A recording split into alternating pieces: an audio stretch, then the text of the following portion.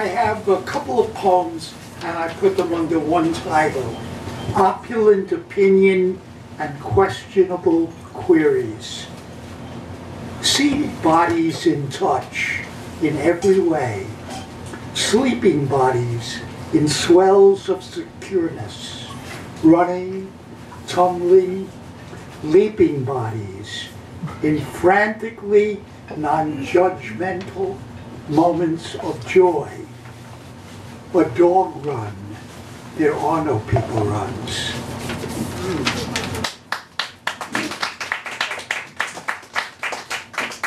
In a perplexingly peopled park, I am watching the bobbing heads of feeding pigeons.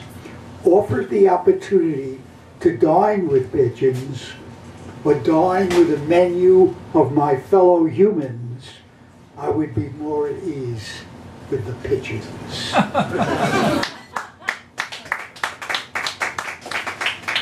Why are we who we are? Free will frees God from responsibility.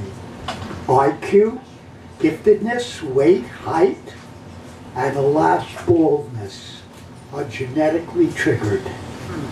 Are there genes for acute avarice, egregious egoism, and the absence of compassion?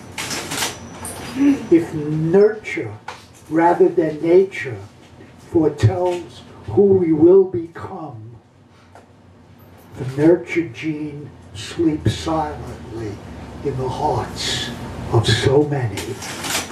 Are there enough shrinks on this planet to shrink the degree of mean-hearted dysfunction that plagues our planet? Charles D., we are indeed in need.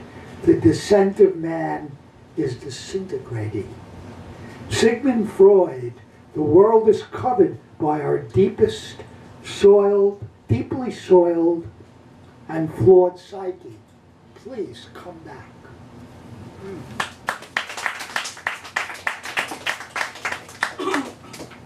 give you this title, it'll help. A Dreamer's Nightmare.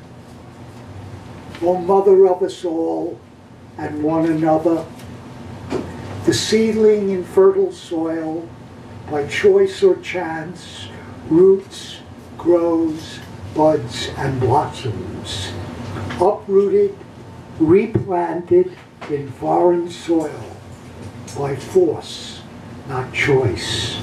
O Mother of us all and one another, a child is hatched in hope, wrapped in warmth and desire, by a will indeter- indeterminable, in time, torn from what has been built, by willfulness and hatred, O Mother of us all. Thank you.